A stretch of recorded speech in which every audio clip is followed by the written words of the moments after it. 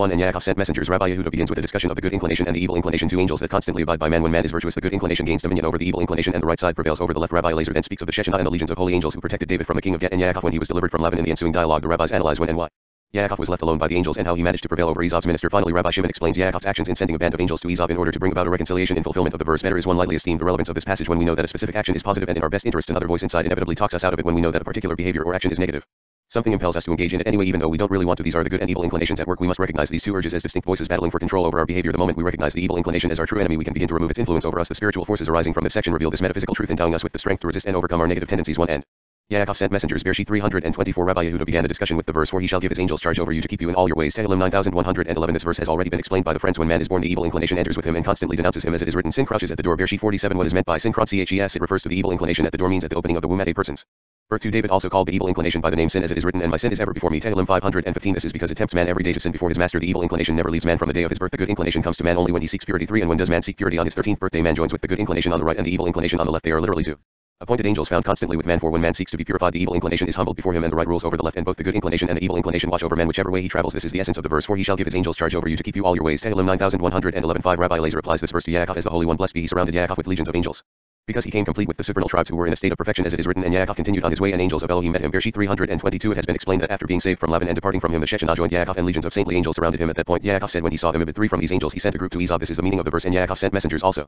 Angels surely these were real angels 6 Rabbi Yitzhak said it is written the angel of Hashem encamps round about those who fear him and he delivers them Tehillim 348 This verse has already been explained but in another place it is written for he shall give his angels charge over you namely many angels whereas here only one is mentioned as it is written the angel of Hashem encamps he answers the verse for he shall give his angels charge over you refers to angels in general but the verse the angel of Hashem refers to the Shechinah as it is written and the angel of Hashem appeared to him in a flame of fire out of the midst of a bush. Shemot 32 just as it refers to the Shechinah in the first verse so the angel mentioned here also points to the Shechinah and so the angel of Hashem encamps round about those who fear him to encircle them in every direction so as to deliver them and when the Shechinah resides inside man all the holy hosts come there seven come and behold when King David was saved from Achish king of Gath he said the angel of Hashem encamps for the Shechinah surrounded him and saved him from Achish his people and those who attacked him as it is written Vaitholel and feigned himself mad in their hands. I Shmuel 2114 he asks why is it written Vaitholel rather than Vaishtijay as it is written you have brought this fellow to play the madman Heblahishtijay in my presence. I Shmuel 2116 he answers this verse refers to what David Said earlier as it is written for I was envious of the whole Madman Tehillim 733 so the Holy One blessed be he said to him upon your life you shall be in need of that yet and when he came to the house of Achish and was attacked it is written he feigned himself mad in their hands like those whole madmen he first envied when he said for I was envious of the madman only then did the Shechinah come and protect him. She dwelt there around David 9 you may ask if the Shechinah resides only in her own place which is the Holy Land. Why was the Shechinah upon him? In Gath which is outside the Holy Land he answers she certainly does not dwell outside the land of Israel for people to draw plenty from her but can dwell outside to rescue men thus when Yaakov arrived from the house of Laban all the holy camps encircled him and did not leave him alone. 10 Rabbi Shizkiah asked if this is so. Why is it written and Yaakov remained alone Bereshit 3235 where were the legions of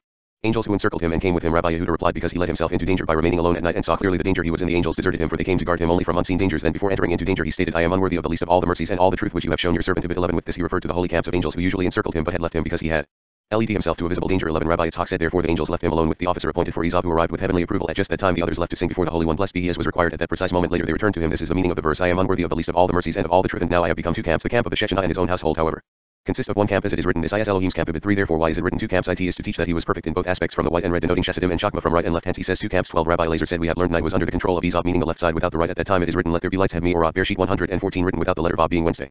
Eve which could not give light without Chesedim for this reason Yaakov remained alone as Yaakov representing the sun denoting Zeir Anpin remained alone without the Nukba as the moon the Nukba was concealed from the sun namely Zeir Anpin called Yaakov yet the Holy One blessed be he continued to guard Yaakov enough so that Esav's officer could not overcome him as it is written he saw that he did not prevail against him. Bereshit 3225 13 he explained why he could not prevail Against him the angel looked to the right of Yaakov and saw Abraham the perfection of the right column. He looked to the left of Yaakov and saw Yitzhak the perfection of the left column. He looked at the body of Yaakov and saw it was comprised of parts of both the right and left sides being the perfection of the central column since the other side can have no hold on perfection only on imperfection. He could not overcome him then he touched the hollow of his thigh the one pillar nearest to the body but somewhat removed from it. Thus it possesses an aspect of imperfection and the angel seized it and the hollow of Yaakov's thigh was put out of joint 14 for this reason it is written the angel of Hashem encamps round about those who fear him and he delivers them. He circled him on all sides in order to save him from the officer of Esav and when the Shechinah resided with him numerous camps of angels accompanied him from these angels. Yaakov sent some to Esav 15 and Yaakov sent messengers. Rabbi Abba asks what motivated Yaakov to send messengers to Esav. Would it not have been better to refrain from sending any to him? He answers, Yaakov said, I know that Esav reveres the father's honor and has never troubled him as long as I know that my father is alive. So I do not fear Esav. So as long as my father is alive, I wish to appease him. Thus he immediately hastened, and Yaakov sent messengers before him. 16 And Yaakov sent messengers. Rabbi Shimon began it. Discussion with the verse better is one little esteemed who owns a servant than one who pranks himself but lacks bread. Mishle 129 This verse refers to the evil inclination who constantly accuses man. The evil inclination causes man to become haughty and proud, encouraging man to curl his hair until the evil inclination towers over him and drags him to Gehenna. 17 Better is one lightly esteemed means one who does not follow the evil inclination and does not act haughtily but humbles his Spirit, heart, and will before the Holy One. Blessed be he. Then the evil inclination becomes his servant as it cannot control him. On the contrary, the person controls it as it is written. Yet you may rule over him. Bereshit 47:18. Then one who pranks himself is as we said that he puts on airs, curls his hair, and acts haughtily but lacks bread. This means a lack of faith as it is written to offer the bread of his Elohim. Vayikra 2117. And the bread of their Elohim they do offer. Ibid 6 bread. Is the Shechinah in both verses faith is the Shechinah so lacking bread means lacking faith 19 Another interpretation of better is one lightly esteemed is that it refers to Yaakov who humbled himself before Esav so that Esav should later become his servant by controlling him he fulfilled the meaning of the verse let people serve you and nations bow down to you Bereshit 2729 It was not yet time for Yaakov to rule over Esav Yaakov left this to happen at a later time for he was lowly. Then later however the one who pranks himself will become his servant and then he will lack bread. This refers to Esav who will become Yaakov's servant who was given plenty of corn and wine. Ibid 2820 Come and behold Yaakov knew that he needed him now therefore he appeared as if he was lightly esteemed by doing so he showed more wisdom and guile than he had ever shown against Esau. Had Esau been aware of this wisdom he would have killed himself rather than coming to this however. Yaakov did all this with wisdom and about him Shinnah said the adversaries of Hashem shall be broken in peace and he shall give strength to his king. I Shmuel 210 section 2 I have sojourned with Laban. Rabbi Yehuda begins a discussion of Yaakov's message to Esau. I have sojourned with Laban interpreting Yaakov's words as threatening to Esau who desired to destroy Yaakov. There follows a discussion of Laban the universally feared magician and sorcerer who was Powerless against Yaakov just as Bilam was powerless when he tried to destroy the children of Israel with the same magical arts. The reason for their failure we're told is that the power of sorcery is subservient to the children of Israel and God. Finally Rabbi Yossi interprets Yaakov's message to Laban as indicating that Yaakov humbled himself in order to divert Esau's attention from Yaakov's true blessing so that Esau would not harbor envy and hate for him. The relevance of this passage.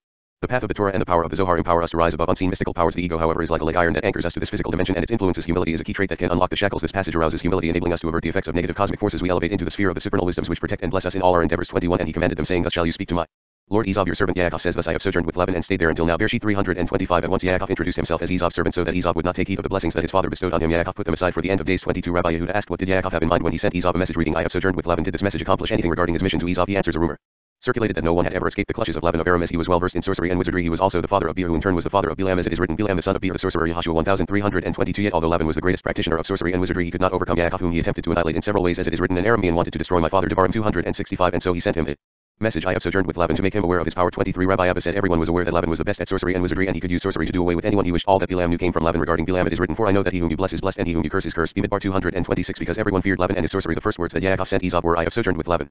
In case Esau thought it was for a short period perhaps a month or a year Yaakov advised and stayed there until now. Dash 20 years did I stay with him 24 you may say that he gained nothing but he said to him and I have oxen and asses. Bereshit 32 6 These are sentences of judgment that is demons when these two collaborate they cooperate to harm the world meaning it is not their nature to inflict damage except when they are joined for this reason it is written you shall not plow with an ox and an ass together. Devarim 2210 for this causes these two demons namely the ox and the ass to be joined and to inflict damage on the world. 25 The verse flocks and men servants and women servants refers to lower crowns of the clipot which the Holy One blessed be. He slew in Egypt. They are called the firstborn of cattle Shemot 1229 the firstborn of the captive and the firstborn of the maidservant Shemot 115 Esau took fright and came toward him. He feared Yaakov as much as Yaakov feared him. 26 This is like the story of a man who was walking along the road when he heard a robber was lurking along the way when another man approached him. He asked where are you from? The man replied that he was from an army brigade. He said stay away from me. I have a snake that will kill anyone who approaches me. That man returned to the chief of the brigade and said there is a man coming who has a snake that bites and kills anyone who approaches him. 27 The chief heard and was frightened. He said it is best to go meet and appease him. When the traveler saw the chief he was afraid. He said woe is me now. The chief will kill me. He began to bow and kneel before him. The chief then said if he really had a snake that kills he would not have bowed before me. Thus the chief regained his composure and said since he bows so much before me I shall spare him 28 This is why Yaakov said I have sojourned with Laban and stayed there until now. I lingered with him these 20 years and I bring with me a snake which kills people. Esau heard this and said woe to me who shall stand before him for now Yaakov shall kill me with his mouth he thought that because he overpowered Laban Bilam's grandfather his strength was surely as great as that of Bilam of whom it is said for I know that he whom you bless is blessed and he whom you curse is cursed and he can kill with his mouth. He then came out to meet him to appease him. 29 Once he saw him it is written then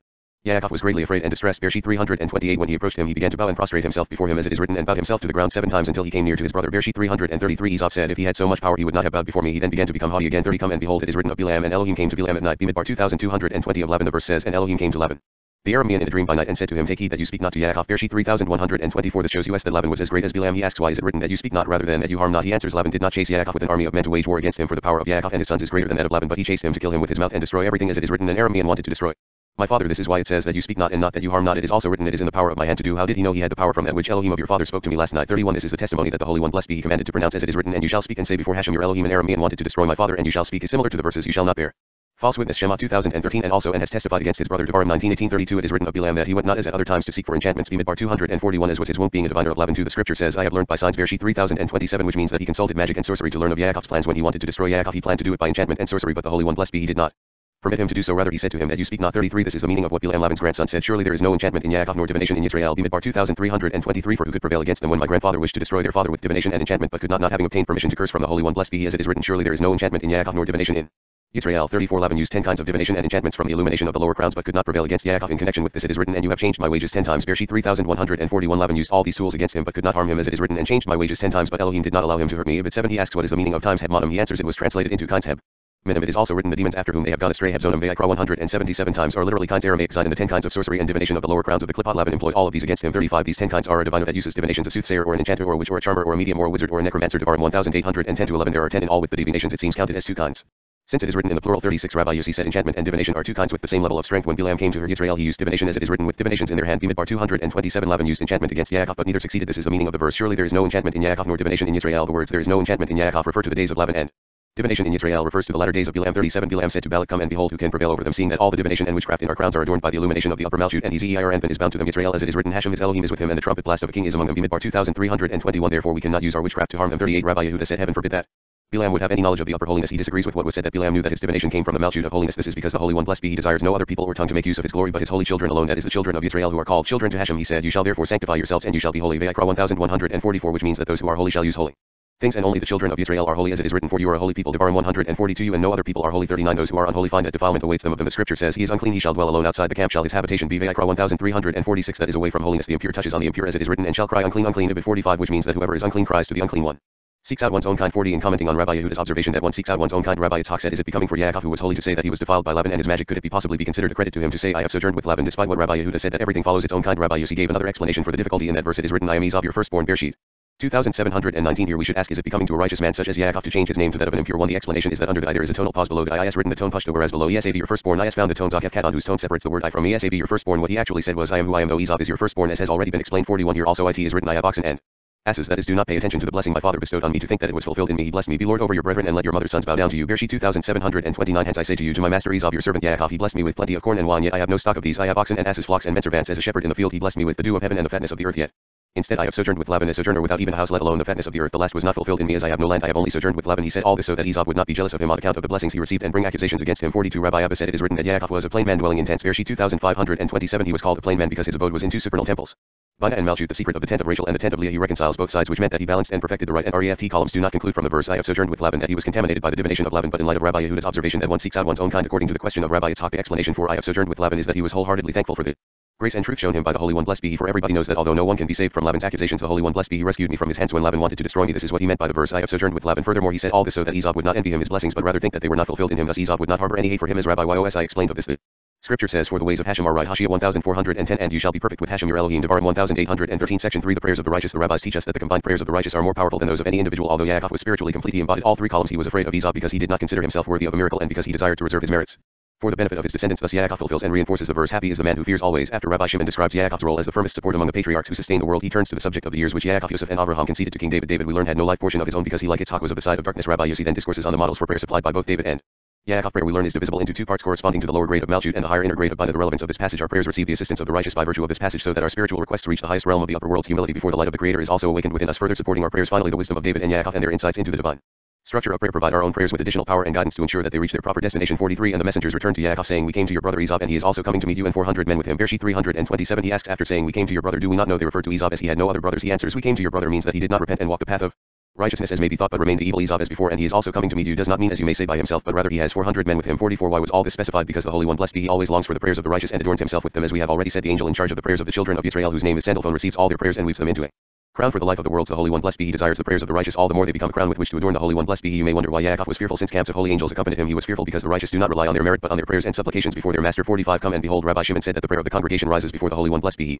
And he is adorned by that prayer because it ascends in several ways one asking for Chesedim another for Gvurat and the third for mercy. It consists of several sides the right side the left and the middle. As Chesedim are drawn from the right Gvurat from the left and mercy from the middle because it comprises several aspects. It is woven into a wreath and put on the head of the righteous one the life of the worlds that is Yesod which gives salvation to the Nukba and from her to the whole congregation but a solitary prayer does not include all the sides. Rather it contains only one aspect. One can only ask for Chesedim Gvurat or mercy. Therefore the solitary prayer is not prepared and accepted as is that of the congregation. It is not included within all the three columns as is the prayer of the congregation. Come and behold Yaakov included all three columns being the chariot of the central column which includes both therefore the Holy One. Blessed be he desired his prayer perfected by all three columns. It is therefore written, and Yaakov was greatly afraid and distressed. The Holy One blessed be he did all that to encourage Yaakov to pray for. He craved his prayer. 46 Rabbi Yehuda began the discussion with the verse, Happy is the man who fears always but he who hardens his heart shall fall into evil. Mishle 2814 Happy are the children of Israel whom the Holy One blessed be he desires and to whom he gave the Torah of truth with which to attain eternal life for.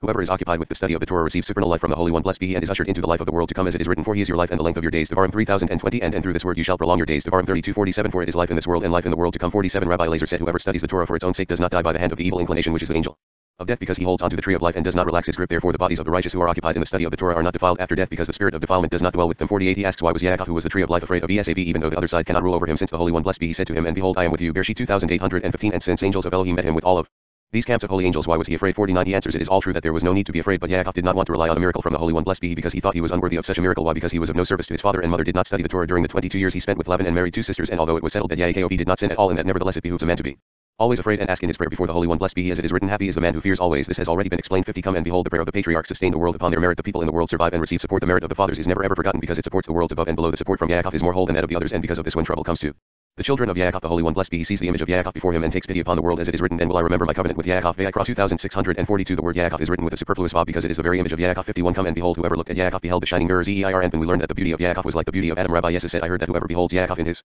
Dream wrapped in his clothes has his life prolonged. 52 Rabbi Shimon said we have already learned that before King David entered the world he had no life at all except for the 70 years given him by Adam. So King David lived 70 years and Adam lived a thousand years less 70 years. So Adam and David existed within the first millennium after the creation of the world. 53 he began the discussion with the verse. He asked life of you and you did give it him length of days forever.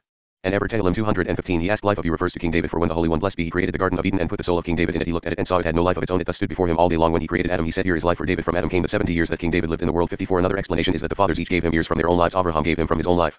As did Yaakov and Yosef Yitzhak did not give him anything because King David belonged to the same side as he did 55 Abraham. Surely gave King David 5 of his years for he lived only 175 of his 180 years. 5 years less than his due like Yitzhak Yaakov could have lived as long as Abraham. 175 years but he lived only 147 28 years less than his due. Thus Abraham and Yaakov gave King David 33 years of life. Yosef lived only 110 years instead of 147 which is 37 years less than Yaakov.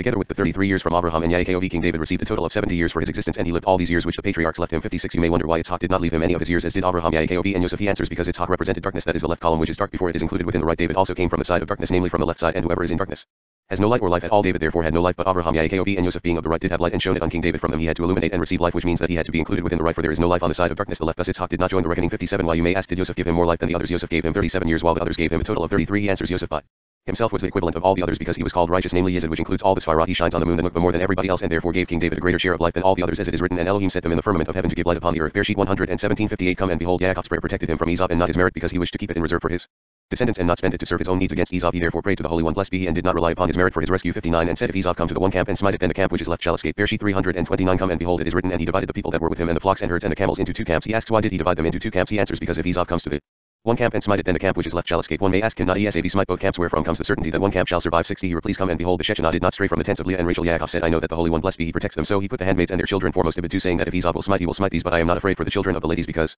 the Shechinah is with them according to this foremost means the first to encounter danger. Thus he said then the camp which is left shall escape because the Shechinah hovers about them after the preparations he prayed for the handmaids and their children saying and Yaakov said Elohim of my father Abraham and Elohim of my father Yitzhak Hashem who did say to me return to your country and to your kindred and I will deal well with you Ibid 1061 Rabbi Yossi began the discussion with the Verse of prayer of the poor when he faints and pours out his complaint before Hashem. Tehillim 1021 This verse has been explained several times. Yet King David said this when he watched and contemplated the ways of the poor while fleeing from his father-in-law King then did he say a prayer of the poor this is the prayer of the poor say to the Holy One blessed be he it is the first to be received among all the prayers in the world. 62 it is here written a prayer of the poor and Elsewhere a prayer of Moshe the man of Elohim Tehillim 901 he asks about the difference between them. He answers that prayer of the poor is the hand tefillin the secret of the nukba the is called poor because she has nothing of herself and receives everything from Zeir Anpin that prayer of Moshe is the head tefillin Zeir Anpin there should be no separation between the prayer of the poor and the prayer of Moshe the and Zeir Anpin because they should always be united both are Considered as 163 the prayer of the poor is therefore the first to be received into the presence of the Holy One. Blessed be he it is received before all other prayers in the world as it is written for he has not despised nor abhorred the affliction of the afflicted. Tehillim 2225 come and behold the prayer of the poor is the hand tefillin that is the nukba which is the prayer of the poor who are deep in poverty as one who has nothing of his own. 64 another explanation is that the prayer alludes to Moshe Zeir Anpin the poor to David the nukba when he faints refers to the moon the nukba when it is concealed and the sun Zeir Anpin is gone from her. Before Hashem Zeir Anpin he pours out his complaint in order to be joined with the sun Zeir Anpin 65 come and behold the prayer of every man is considered prayer but when the prayer of the poor comes before the Holy One blessed be he it breaks down gates and doors to be received and shown into his presence. This is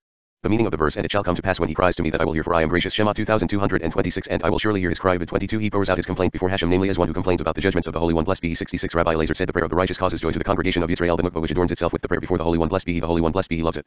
Better than the prayer of the poor the Holy One. Blessed be he desires the prayer of the righteous when they pray in time of need because they know how to appease their master. 67 it is written that Yaakov prayed Elohim of my father Abraham and Elohim of my father Yitzhak. Hashem who did say to me he joined everything together into one not saying Elohim of my father Abraham who is of the right and Elohim of my father Yitzhak who is of the left who did say to me namely to himself who represents the balancing central column it depends on the central column to adorn his place between Abraham and Yitzhak right and left he therefore said to him return to your country and to your kindred and I will deal well with you 68 I am unworthy of the least of all the mercies he asks what made Yaakov say I am unworthy together with return to your country and to your kindred and I will deal well with you he answers Yaakov said you promised to deal well with me and I know that whatever you do has conditions that your will shall be done yet I have no merit because I am unworthy of the least of all the mercies and of all the truth which you have shown your servant. There is no need then to keep your promise whatever you did for me until now was not for my merits but because of your goodness all those mercies and truths were because of your goodness. For when I first crossed the river Jordan when I fled Esau I was alone and you gave me mercies and truth so that now I crossed the river with two camps that I asked the two camps he divided 69 up to this point Yaakov recited the praises of his master. Then he asked for what he needed. This teaches people that it behooves man to first praise his master and only then to pray for himself. This is what Yaakov did. He first praised his master and when he finished he asked for what he needed. 70 this is the meaning of the verse. Deliver me I pray you from the hand of my brother from the hand of Esau for I fear lest he come and smite me the mother with the children. This means that after praising his master he began to pray. It is understood from this that when one prays one's words should be precise. He said, Deliver me I pray you, which appears as if it should suffice because he only needed deliverance. Yet he said to the Holy One, Blessed be he lest you say that you already rescued me from Laban. I add from the hand of my brother. It may be said that other relatives are also referred to as brothers.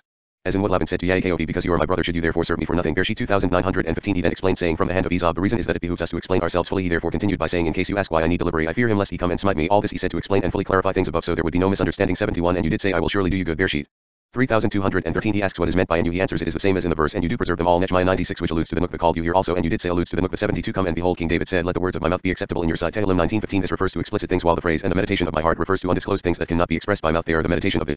Heart which cannot be explained 73 thus there should be a matter that is explained by mouth as in the words of my mouth dash and a matter which depends upon the heart and is not explicit that I ask the meditation of my heart dash for it is all a mystery one corresponds to the lower grade the nukba and the other to the upper grade by that which is expressed by mouth corresponds to the lower grade which needs to be expressed the secret of the disclosed world that which depends on the heart.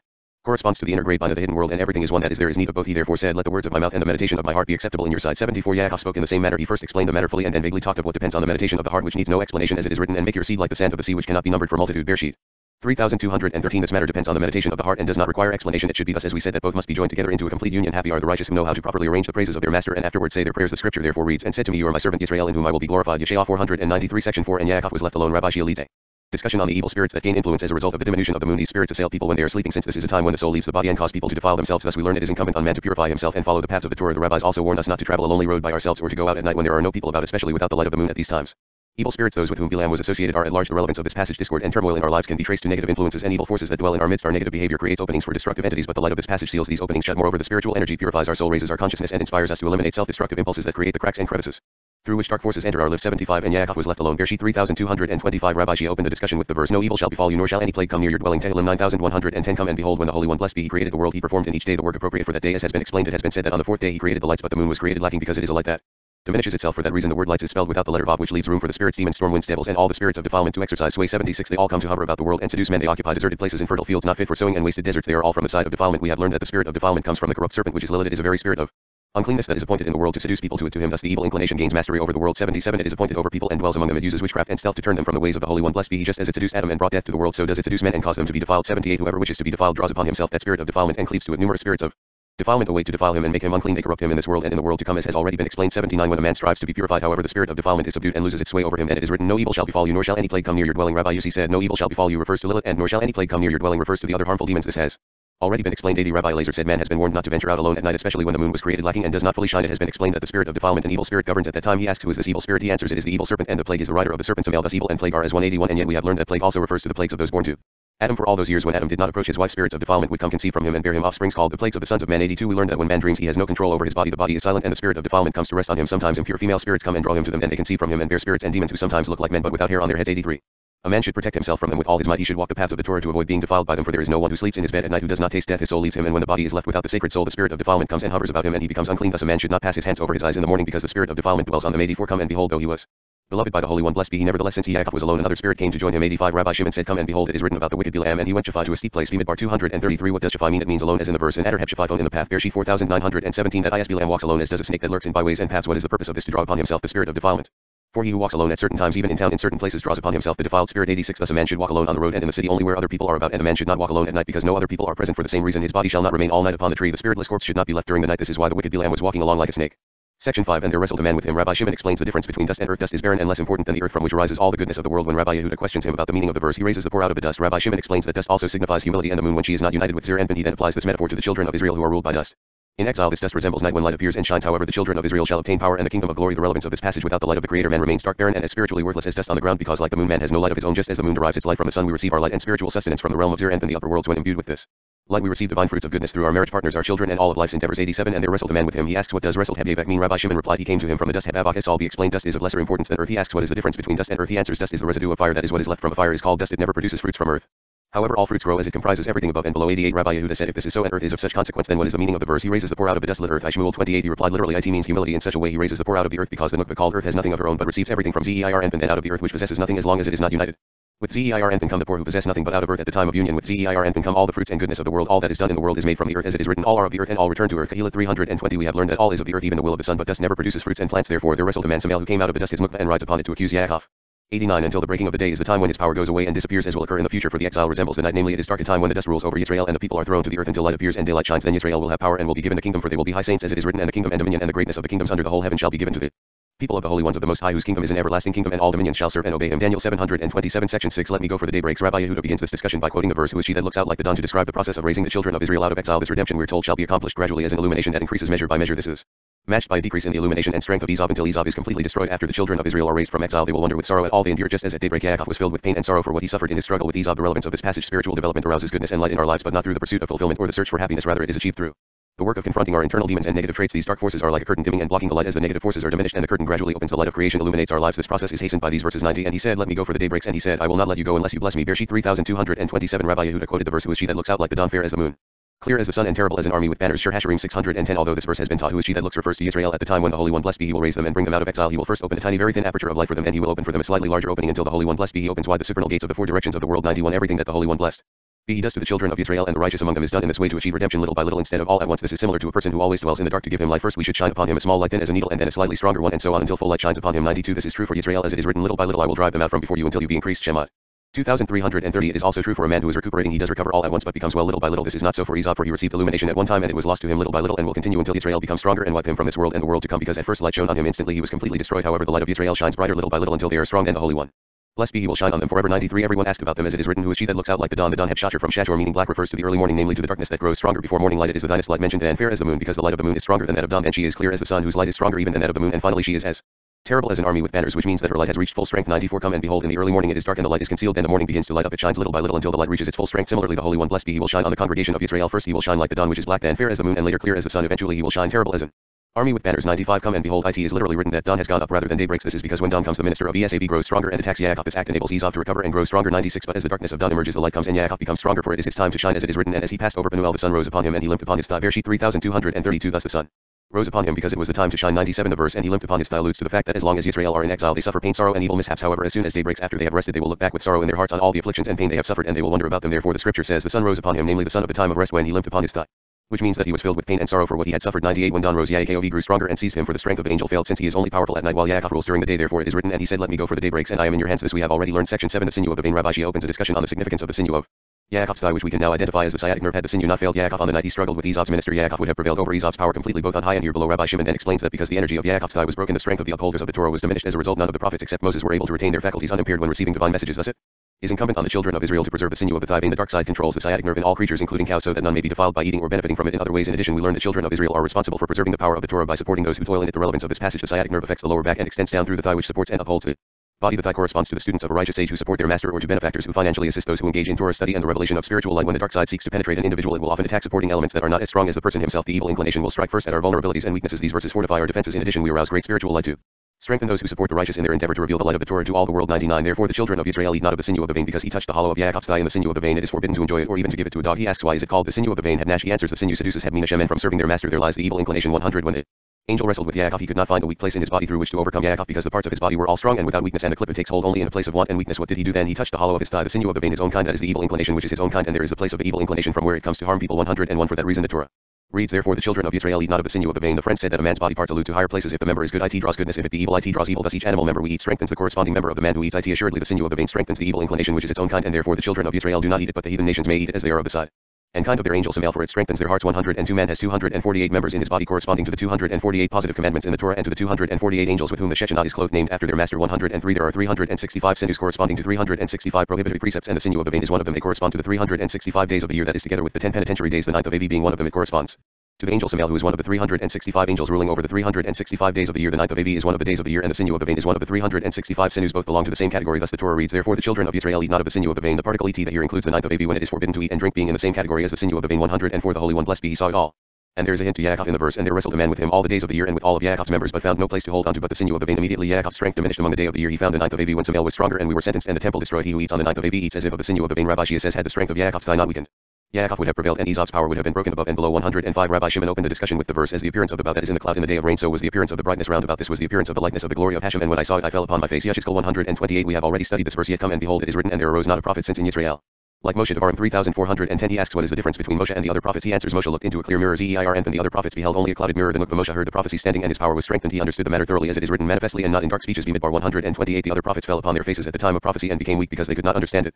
Clearly this was because he touched the hollow of Yaakov's thigh and he limped upon his thigh 106 no prophet knew what the Holy One blessed be he was destined to do to Esau except the prophet Obadiah who was a proselyte from the side of Esau he understood clearly what pertained to Esau yet his strength did not diminish as recorded in the book of Obadiah 107 this is why the other prophets were weakened and could not perceive and grasp the prophecy as they ought the reason is that he touched the hollow of Yaakov's thigh in the sinew of the vein. He drew and sucked away the power of the thigh. The power of the thigh broke, leaving him limping on his thigh. And all the prophets in the world limited in their conception and understanding come and behold, all the prophets except Moshe did not understand things clearly. 108 There is no one to support the students of the Torah to give them money for their needs in their pockets and thereby strengthen them. The Torah is forgotten with every generation and its power is daily diminished because the students of the Torah have no support. The secret of he limped upon his thigh is that no one gives support and strength for the students of the Torah and they are unable to continue to study it. Therefore the evil kingdom grows stronger every day. Behold what the sin causes when no one supports the Torah. Zeir Anpin properly the supports of Zeir Anpin are weakened at is Netzach and Hod of Zeir Anpin called supports and as a result he who has no legs or thighs on which to stand the primordial serpent is thereby strengthened 109 he began the discussion with the verse and Hashem Elohim said to the serpent because you have done this you are cursed above all cattle upon your belly shall you go Bereshit 314 he asks what is the meaning of upon your belly shall you go he answers its supports were broken its legs were cut off and it had nothing to stand on thus when the children of Israel do Not support the Torah that is provide for those who are occupied in its study. They strengthen the serpent by giving it legs on which to stand. For the other side is built on lack and holiness. 110 Come and behold how much deceit and crookedness did that rider of the serpent Samael employ against Yaakov that night. He knew well the verse. The voice is Yaakov's voice, but the hands are the hands of Esau. Bereshit 2722, which means that if the voice of Yaakov, the voice of the Torah is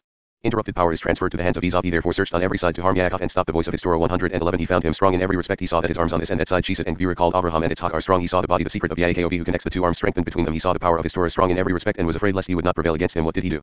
At once he touched the hollow of his thigh, the supports of the Torah he employed cutting against him, saying, Now that the supports of the Torah are broken, the Torah can no longer be strong, and their father's words shall be fulfilled. The voice is Yaakov's voice, but the hands are the hands of Esau, and, and it shall come to pass when you shall have the dominance that you shall break his yoke from off your neck. Bereshit 2740 112 He acted craftily against Yaakov, for in order to break the power of the Torah, Esau grew stronger when he saw he could not hurt the Torah. He weakened those who supported its students, for when there is no support to be found for the students of the Torah, there will be none of Yaakov's voice, but the hands will be the hands of Esau. 113 When Yaakov saw this, he struck and overpowered him at done until he blessed him and confirmed to him the blessing, saying, Your name shall be called no more Yaakov, but Yisrael. Bereshit 3229 This means your name is no longer Yaakov which indicates deceit as it is written for he has supplanted Hebyah Benimi these two times Bereshit 2736 but Yisrael which means with pride and might for no one can prevail against you for the name Yisrael indicates pride and authority as it is written for you have contended Hepzerita with Elohim and with men and have prevailed 114 Come and behold the serpent releases many armies to all sides they abide in the world among men it is incumbent upon us then to maintain the sinew of the vein because although the rider of the serpent Samael approached it it has not lost its color and is still intact. 115 it behooves us to increase the power of holiness in the world and to show that you have contended with Elohim and with men and have prevailed when he sees that the sinew of the vein is intact as light is drawn on it to preserve it and the place is not consumed. That is if people refrain from eating it then the power and vigor of Samael is broken and he is unable to harm the children of Yaakov. Thus the inhabitants of the world cannot eat the sinew of the vein and enjoy it. 116 Rabbi Yesisava explained that the verse touched the hollow of Yaakov's thigh is similar to the verse whoever touches the dead body of any man that has died. Bimidbar 1913 both refer to impurity because Samael has defiled that place the sinew of the vein and no enjoyment may be derived from an unholy place particularly if the side of defilement Samael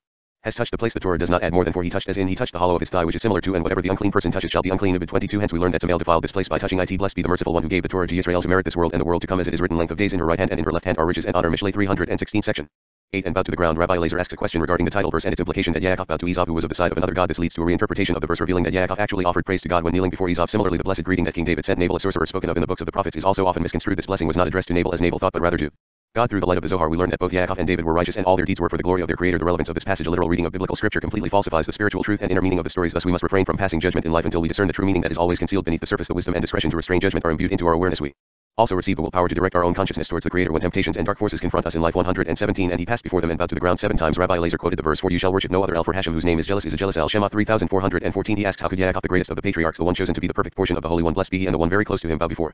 This evil Esau who stands on the side of another El bowing to him is the same as bowing to another El. You may find the answer by referring to the saying that when the fox is in the ascendant bow to him. There is a parable describing a time when the fox reigns over the animals although the fox is the smallest of the beasts everyone bows before it. And here too you might say that Yaakov bowed to Esau because the hour was favorable for him. This however is not so for Esau is considered as Another El and Yaakov would never bow to that side and portion 118 he answers it is written and thus shall you say to him a hearty greeting lit to the living one peace be both to you and peace to your house and peace to all that you have. I Shmuel 256 he asks if it is forbidden to give the first greeting to wicked people. Why did David say this to the wicked Nabal? He said he said this to the Holy One blessed be he in order to connect Nabal with the living one. The Holy One blessed be he.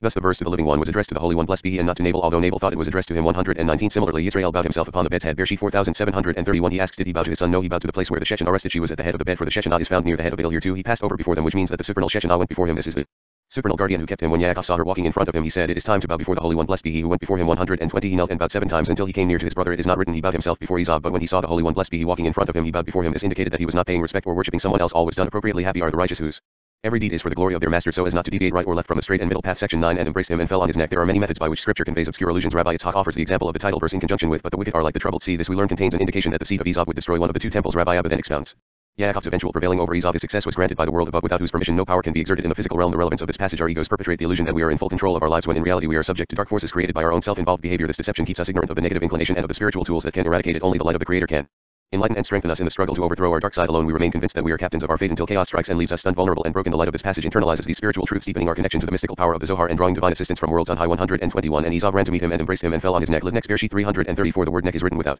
the letter yet it is written and kissed him and they wept. Rabbi Yitzhak said, but the wicked are like the troubled sea which cannot be still and whose waters cast up mire and dirt. Yeshayah 5720 This verse has already been explained how many deep mysteries are there in the words of the Torah. They are different from each other yet all is one 122 but the wicked are like the troubled sea which cannot be still. This verse refers to Esau all of whose deeds were sinful and wicked he was not.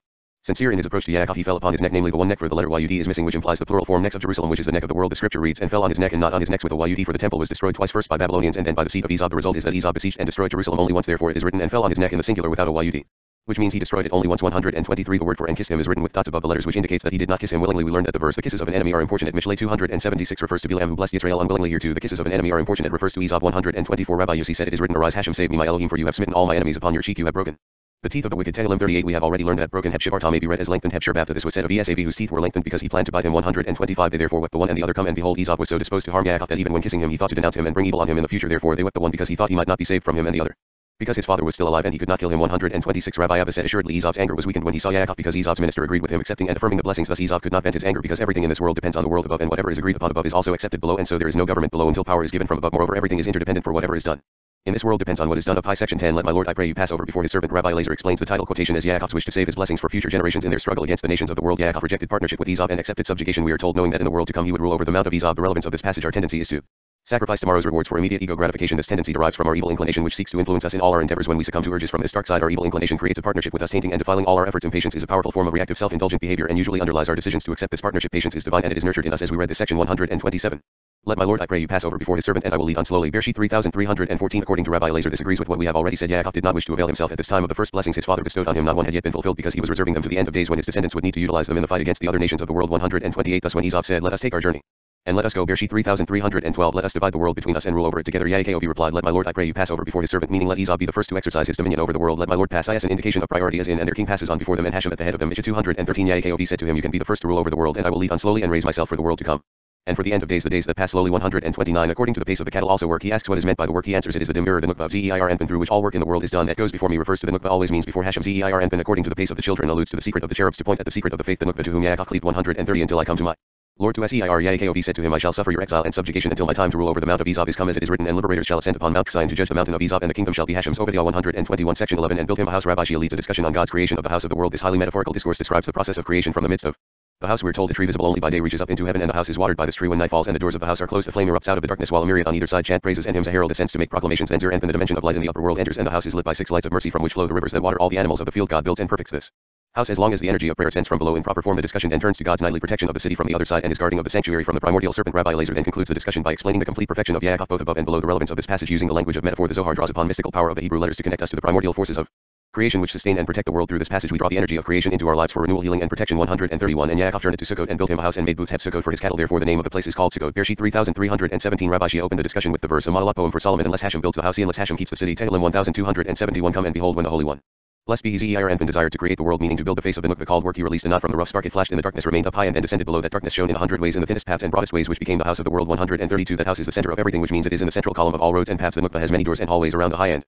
Holy places where the birds of the sky nest each according to its species. In the center there is a huge tree which is Zeir Anpin that purs plenty upon the house. It has many branches and fruits for everyone. The tree reaches to the clouds of heaven and is hidden behind three mountains. Underneath these three mountains it comes out rises upwards and descends 133 this house the Nukva received two types of lights from Zeir Anpin. It is watered by him namely the illumination of Chakma referred to as watering two Zeir Anpin stores within the house. Many unidentified supernal treasures that were lights of Chesedim by this the house is constructed and built. The tree Zeir Anpin is visible during the day and hidden at night while the house the Nukba rules by night and is hidden by day 134 when darkness falls the Nukba is in power and she is bound to it. She rules because she lacks Chesedim and shines with Chakma. All her doors are closed on all sides which means that all the lights are frozen and there is no opening through which any light can be revealed. Many spirits of righteous people soar in the air desirous to know namely receive Chakma and enter the Nukba they come among the birds to receive testimony and then roam and see whatever they can see. 135 the closing of all openings continues until the darkness is stirred to which the Nukba is bound and one flame is produced which strikes open the doors and cleaves rocks with heavy hammers. The clip off the flame moves up and down and strikes the world sounds are heard above and below 136 a crier then ascends attaches himself to the ear and proclaims the ear comes from the pillar of cloud of the inner altar and when it emerges it spreads out in all directions with thousands on its left side and myriads on its right. Then the crier stands firm and proclaims in a strong voice many chant songs and render homage. Two doors are open one on the south for the light of Chesedim and the other on the north for the light of Chakma. 137 this house the Nukba ascends and attaches itself to the right and left sides of Zeir Anpin while hymns are sung and praises offered on high then Zeir Anpin silently enters and the house is lit up by six lights of Chesedim Chesed Gvurah Tiferet Netzach Hod and Yesod which spread splendor in every direction. Chesedim included in Chakma rivers flow from it. The secret of the illumination of Chakma included in Chesedim to water the animals of the field as it is Written they give drink to every wild beast the wild asses quench their thirst. Tehillim 10411 they sing until the day rises when daylight breaks the star signs and their followers all begin to sing praises and chants as it is written. When the morning stars sang together and all the sons of Elohim shouted for joy Eo 387 138 come and behold it is written unless Hashem builds the house they who build it labor in vain. Tehillim 1271 Hashem is the supernal king Zeir Anpin who is constantly. Building and perfecting the house when does he bestow plenty on it? When worship is raised with proper attention from below 139 unless Hashem keeps the city when does this happen? This occurs at nightfall when armed parties from the other side hover and roam the world when the gates are closed and guarded on all sides the doors remain shut lest an uncircumcised and unclean person approaches the sanctuary as it is written for henceforth there shall no more come into you the uncircumcised and the unclean Yeshayah 521 for in the future the Holy One blessed be he will remove them from the face of the earth 140 he asks who are the uncircumcised and who are the unclean? He answers they are all one the same one who seduced Adam and his wife. Adam and his wife followed him the primordial serpent and brought death to the whole world. He defiles the house the Nukba until the Holy One blessed be. He shall remove him from the world. The Nukba therefore unless Hashem keeps the city.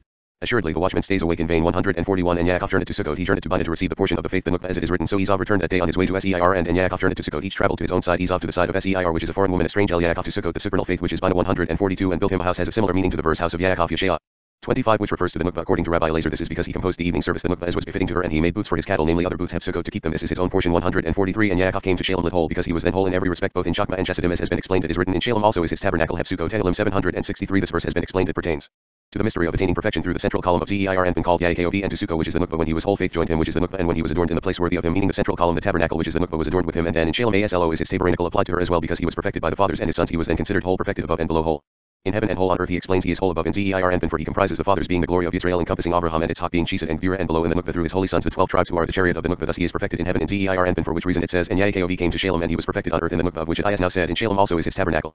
Section 12 You shall not plow with an ox and an ass together. An ox and an ass together represents the unification of the defiled spirits of the other side against man. This is applied to the struggle between Shimon and Chamor conflict in which Shimon who was under the astrological sign of the ox fought Chamor of the side of the ass to prevent the two from joining. We learn that Shimon first brought the blood of circumcision on the males and slew them just as God did to the Egyptians who represent asses through Moses when Yosef the ox was removed from them in the final exile we're told Yaakov and Yosef will rise against Esau and prevail. The relevance of this passage unity is recognized as the supreme power in our world. United evil can easily defeat this united good. Therefore the only way to defeat unified evil is through the unification of the good and the righteous through the cleansing power of circumcision. This passage creates disunity and separation within. The unseen evil forces lurking in our midst 144 next it is written and Dinah the daughter of Leah went out. This has already been explained by the friends. Come and behold innumerable grades are divided above. Some belong to holiness and others to the other side. As it is written Elohim made the one as well as the other. Kohelet 714 each is different from the other. Some pertaining to Chesed and some to judgments. There are different kinds of animals trying to gain mastery over each other and Devour prey each according to its kind 145 from the side of the defiled spirit many grades divide all of them harbor enmity toward holiness the ones against the others. As it is written you shall not plow with an ox and an ass together Devarim 2210 for when they are together they ruin the world 146 come and behold all that the grades of defilement crave is to damage the holy grades. They all lurk in wait to damage the holy Yaakov first a serpent bit him as it is written he touched the hollow of his thigh which refers to the minister of Esav who rides a serpent then an ass bit him that is Shem the son of Chamor lit ass the right side of the Klippa 147 when the serpent bit him he himself stood against him. When that ass bit him Shimon and Levi who come from the side of strict judgment fought the ass charging on all sides until he surrendered before them as it is written and they slew Chamor and Shem his son with the edge of the sword Bereshit 3426 Shimon whose astrological sign was Taurus ox Gvurah and the left side of holiness attacked Chamor the right side of the Klippa and was hostile towards him to prevent the ox and ass of the Klippa from joining Shimon is his adversary and not Yaakov 148 they all brought accusations against Yaakov but he was delivered from them and later he ruled over them then came the ox Yosef who perfected himself among the asses the Egyptians. He ruled over they were all of the side of the Klippa of an ass. He explained Yosef is an ox and the Egyptians are asses of whom the scripture says whose flesh is as the flesh of asses. Yechezkel 2320 149 therefore the sons of Yaakov later fell among the asses the Egyptians because an ox joined them. Yosef through whom an ox and an ass were joined together and they bit Israel's flesh and marrow as it is the nature of the ass to bite and break bones until Levi was again aroused to scatter the asses that is he separated the ox from the ass in order to subdue them he broke their strength and removed the ox from there as it is written and Moshe took the bones of Yosef with him. Shemot 1319 Moshe being a Levite and Yosef the ox that joined them 150 come and behold on the first occasion when Shimon came to fight with Chamor he brought blood upon them the blood of circumcision and they slew all the males. Bereshit 3425 the Holy One blessed be he did the same by the Levite Moshe to the asses the Egyptians first he brought upon them the plague of blood and then Hashem slew all the firstborn in the land of Egypt. Shemot 1315 regarding Chamor the father of Shem it is written and all their wealth and all their little ones. Bereshit 3429 and their animals as it is written their sheep and their oxen and their asses and that which was in the city and that which was in the field. Regarding the other asses the Egyptians it is written jewels of silver and jewels of gold and garments. Shemot 1235 which corresponds to the wealth here it is also written and a mixed multitude went up also with them Ibid 38 which corresponds to the little ones mentioned the flocks and herds Ibid that correspond to their sheep and their oxen. 151 Shimon rose against Chamor as the father of Shem who was not joined with an ox Levi rose against all the asses even those joined with an ox like the Egyptians. They all came to join Yaakov and prepared to bite him but he withstood and subdued them through his sons. 152 he asks now in the last exile that Esau is biting him and his sons who shall rise against him he replees Yaakov and Yosef will rise against him the one on this side and the other on that side. Yaakov on the right and Yosef on the left as it is written and the house of Yaakov shall be fire and the house of Yosef flame and the house of Esau for stubble Obadiah 118 153 and the terror of Elohim was upon the cities that were round about them and they did not pursue after the sons of Yaakov. Bereshit 355 Rabbi Yossi said they all gathered to fight them but while they were girding their weapons they took fright and dropped them. Therefore they did not chase the sons of Yaakov. Section 13 put away the strange Elohim while walking. Rabbi Chizkiyah questions Rabbi Yehuda as to why the crown of Malcham was considered the crown of an idol and an abomination and why it was permitted to be set on David's head after Rabbi Yehuda explains that the image of the idol on the crown was broken thus making it permissible for where Rabbi Yitzhak proceeds to interpret the title verse he reveals that Yaakov hid the idolatrous gold and silver images so that his people could not derive any benefit from these representations of false deities. There follows a discussion of man's responsibility to thank and praise God for his miracles and his goodness. This is why Yaakov alone prepared the altar at Bethel although his sons were with him Yaakov alone suffered the tribulations that run throughout his story making him worthy and deserving of the task the relevance of this passage it is a man's natural tendency to worship his own ego and credit himself for all of his accomplishments this is true idol worshipping the concept of praising and thanking God is a code denoting the need for true appreciation and awareness of the existence of the creator as beneficence appreciation is for our own benefit and not in any way for the creator who has no need or Desire for praise and thanks appreciation and awareness are spiritual forces that help to protect all that we have received from negative entities. The goal of an evil entity is to lower our guard and make us vulnerable when there is no consciousness of the creator's role in our good fortune. Dark forces can loot us of our spiritual light. This manifests physically as the loss of blessing whether in relationships, health or financial prosperity. This passage stirs appreciation for the creator within. Us this gratitude is derived through Yaakov who recognized and warned his children about the idols in their midst. 154 put away the strange Elohim Bereshit 352 that they took from Shem vessels of silver and gold upon which were engraved the images of their deities. Rabbi Yehuda said these were the images of strange Elohim made of silver and gold and not vessels with their images. Yaakov hid them there so that they would not derive benefit from idolatry. A man should never derive benefit from it. 155 as Rabbi Yehuda and Rabbi Chizkiyah were walking along the road Rabbi Chizkiyah asked why is it written and he took the crown of Malcham from off his head and its weight was a talent of gold with the precious stones and it was set on David's head. 2 Shmuel 1230 we have learned that Milcom was the abominable idol of the children of Ammon as it is written the crown of Malcham why therefore was it set on David's head and why it is called abomination while other deities of the heathen nations are called the Elohim of the people other Elohim strange El and other Elohim and the like. Only Malcham is called an abomination 156 he answers that the Holy One blessed be. He calls all the deities of the idolatrous nations not only Malcham by this name as it is written and you have seen their abominations and their idols. Devarim 2916 what of the verse? And he took the crown of Malcham the idol Milcom he asked how could David set it on his head? Assuredly it was a crown of an idol but before it the Gittite became a proselyte that is while he was still a heathen he broke Milcom's heathen crown destroying the image engraved on it either by made it permissible for use. And David put it on his head come and behold the abomination of the children of Ammon was a serpent deeply engraved on the crown it was therefore called an abomination which means filth. This is the second answer for the question that Rabbi Chizkiyah asked Rabbi Yehuda why is this idol Called an abomination 157 Rabbi Yitzhak said that the verse put away the strange Elohim that are among you refers to other women who when taken captive brought with them all their jewels. Thus it is written and they gave to Yaakov all the strange Elohim which are the women and all their jewels and their deities of silver and gold and Yaakov hid them the gold and silver so that his people would derive no benefit whatsoever from them. The aspects of idolatry 158 come and behold. How much Yaakov was a perfected man and how he cleaved to the Holy One. Blessed be he it is written and let us arise and go up to Bethel and I will make there an altar to El who answers me in the day of my distress and was with me in the way on which I went Bereshit 353 at once they gave to Yaakov before from this. We learn that it is incumbent on man to praise the Holy One. Blessed be he and give thanks to him for all the miracles and goodness he did by him. This is the meaning of the verse and was with me in the way on which I went. 159 come and behold first it is written and let us arise and go up to Bethel in the plural because he counted his sons with him. Then it is written and I will make there an altar in the singular and not and we will make because he excluded his sons from this act. Why? Because it was for him alone to do it. Yaakov surely composed the evening prayer the correction of the Nukba and built the altar the correction of the Nukba it was for him to do. Not for his sons for his children were not born until after he had fled from his brother and had gone through the troubles that followed as it is written and was with me in the way on which I went. Thus he did not include them in preparing the altar but said and I will make there an altar instead of we will make 160 Rabbi Lazar said from this. We learn that whoever received a miracle should give thanks and whoever ate bread should say grace and not the person who ate nothing. Yaakov then said I will make an altar and not we will make section 14 and he built there an altar. The Zohar tells us that Yaakov is beginning a very difficult spiritual journey which involves enjoining the two worlds of Anpin and Malchut. Here Yaakov is coming full circle completing his journey and thereby unifying Anpin and Malchut. The relevance of this passage passion and enthusiasm for spiritual wisdom and growth are easily aroused when one begins to Walk the spiritual path however when the inevitable obstacles surface to test our commitment and shed light on our negative qualities so that we can confront and extract them from our nature. We lose the fire and most of us fail to complete journey. It's much easier to start a new search elsewhere and feel new passion again than it is to confront the dark side of our nature and complete our journey constant seeking however will not enjoy the two spiritual worlds thus it delivers short-lived passion and fails to provide long-term fulfillment the evil inclination will always stand by us and help rationalize and justify our quitting and giving up in response the Zohar verses herein give us the energy and willpower to complete our path and finish what we start so that we can achieve true and eternal contentment. 161 and he built there an altar. Bereshit 357 come and behold it is written that he built there an altar but not that he offered libations and sacrifices. This is because he completed the grade worthy of perfection an altar to Hashem means he fixed the lower grade the Nukba and attached it to the upper grade. Zeir Anpin thus and he built there an altar is the lower grade. The Nukba to Hashem is the upper grade. Zeir Anpin and called the place El Bet El which I asked the name he gave. The Nukba is that of the supernal Bina for when the Nukba shown from Zeir Anpin the daughter the Nukba became like her mother Bina therefore Yaakov named her El after her. Mother and all is one 162 because there the Elohim was lit were revealed to him. This verse signifies that angels were revealed in the plural and not in the singular. Why did he call the altar El Bet El? Because they are found only with the Shechinah. These 70 angels are always with her and 70 thrones stand around the Shechinah. Wherever angels are found the Shechinah is revealed. Therefore the scripture says because there the Elohim were revealed to him in an open place. The as it is written and behold Hashem stood above it. Bereshit 2813 namely upon the ladder which is the Nukba section 15 and Elohim went up from him. Here Rabbi Shimon discusses Yaakov's unique and privileged position as revealed by the title quotation because Yaakov encompasses all the patriarchs. He is a holy chariot to Zeir Anpin by himself. Indeed his perfection was completed by the name Israel which the Shechinah bestowed upon him. We learn of the great Good fortune of the children of Israel who alone among nations have God to receive their prayers and petitions. The relevance of this passage, a reading of this section helps elevate us to experience some of the perfection embodied by the patriarchs, inspiring us to follow the path of righteousness and summon down more light. 163 and Elohim went up from him in the place where he talked with him. Bereshit 3513 Rabbi Shimon said here we learn that Yaakov together with the other patriarchs became a holy chariot to Hashem. Come and behold Yaakov is a supernal holy chariot to Zeir Anpin shining on the moon. The Nukba he is a chariot by himself because he includes the patriarchs Chesed and Gvurah as Tiferet includes them both. This is the meaning of the verse. And Elohim went up from him as someone alighting from his chariot 164 he began the discussion with the verse for what nation is there so great that has Elohim so near to them as Hashem? Our Elohim is in all things that we Call upon him for Devarim 44 Come and behold how fond the Holy One blessed be he is of Israel for no nation or tongue among all the heathen people in the world will have Elohim to receive their prayers as the Holy One blessed be he will in the future receive the prayers and petitions of Israel in their hour of need when they pray for the sake of their great alone the Shechinah that is whenever their prayer is for the perfecting of the Shechinah 165 Come and behold the Holy One blessed. Be he called Yaakov by the name Israel namely that is the Shechinah did as it is written your name shall not be called any more Yaakov but Israel shall be your name and he called his name who gave him that name the Shechinah did as in and he called to Moshe written with a small aleph which is the Shechinah it is also written and Elohim said to him Bereshit 3510 which is a name for the Shechinah 166 we explained that after he achieved perfection he was raised in his grade and was perfected by that name therefore and he called his name Israel has already been explained. Section 16 Yaakov, Israel Rabbi Yossi and Rabbi Lazar discuss the issue of Yaakov's two names Yaakov and Israel Rabbi Lazar explains why Yaakov is only sometimes called Israel while after Abram's renaming he is always referred to as Avraham. Avraham's original name was imperfect whereas Yaakov's name denoted a higher level of spirituality. The relevance of this passage the name is a link between the body and soul. We connect to our name and soul which helps us fulfill our mission in this world. 167 as Rabbi Lazar and Rabbi Yossi. Were walking together. Rabbi Yossi said what you said is true that Yaakov is the most perfect of the fathers. He includes all sides namely right and left. For that reason he was called Israel as it is written your name shall not be called any more Yaakov but Israel shall be your name and he called his name Israel.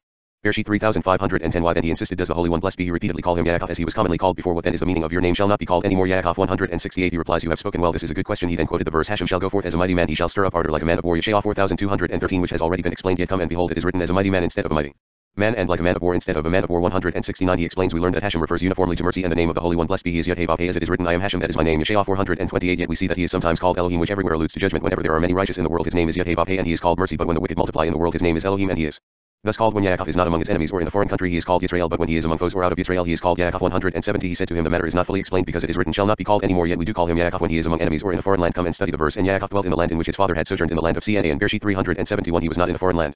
But he is nevertheless called Yaakov 171 he replied I said in the beginning that just as the Holy One blessed be he is sometimes called Yud and sometimes Elohim according to the grade so Yaakov is sometimes called Israel and sometimes Yaakov all according to certain grades. And the words shall not be called any more Yaakov mean that he will not have this name only Yaakov but two names Yaakov and Israel according to his grade 172 he said so it was with Abraham about whom it is written neither shall your name any more be called Abram but your name shall be Avraham Bereshit 175 yet this does not mean that he will be called by two names Abram and Abraham, but rather only Abraham. he answers the scripture says but your name shall be Hebiyah Avraham therefore only this name remained yet here the word Biyah is not used rather it reads but Israel shall be Hebiyah your name. It does not read Israel shall be Hebiyah your name according to this it is sufficient to call him Israel on only one occasion to fulfill the verse which reads but Israel shall be your name. This is all the more true because although he is sometimes called Yaakov there are other times he is called Israel when his sons are adorned with priests and Levites he will be called by the name Israel for all time section 17 every beginning is difficult. Rabbi Yossi and Rabbi Lazar discuss the idea that the beginning of any Manifestation involved strain and death which is later followed by relief and ease. Thus Rachel's death after the birth of Benjamin was a necessary sacrifice in order that the Shechinah could resume her proper place. Similarly on Rosh Hashanah the world passes under severe judgment followed by relief forgiveness and atonement. On Yom Kippur the reason for this Rabbi Lazer explains is that beginning is from the left side which brings harsh judgment until the right side is aroused and provides relief. However for idolaters the reverse is true. God shall first treat them gently and then later he will destroy them. The relevance of this passage each new beginning in our lives represents the seed of all that will follow the birth of a child the outset of a new business enterprise the start of a marriage. These are all examples of beginnings through the mystical words of the sages appearing in this ancient text we help infuse our beginnings with extraordinary light and positive energy. So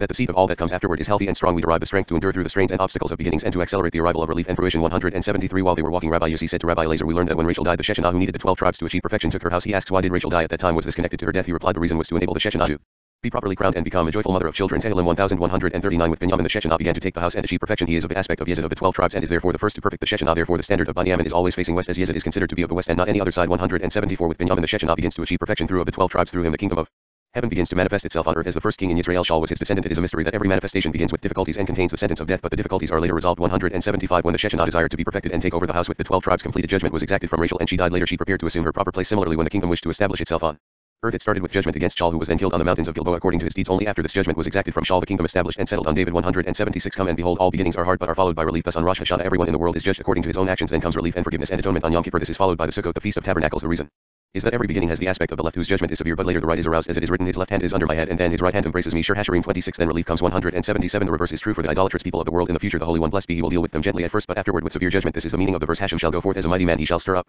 ardor like a man of war. First comes Hashem the merciful then he comes as a mighty man not a real mighty man and later like a man of war not a real man of war. Finally judgment will be given against them and he will destroy them as it is written. He shall cry indeed roar he shall show himself mighty against his foes. Yeshayah 4213 and then shall Hashem go out and fight against those nations as when he fought in the day of battle. Zechariah 143 and who is this that comes from Edom with Crimson garments from Basra Yeshayah 631 178 And it came to pass as her soul was departing for she died that she called his name Ben Oni but his father called him Binyamin Bereshit 3518 Rabbi Yehuda began the discussion with the verse Hashem is good a stronghold in the day of trouble he knows them that trust in him. Hashem 17 Happy is the lot of one who is strengthened by the Holy One blessed be he because the stronghold of the Holy One blessed be he is indeed a stronghold as it is.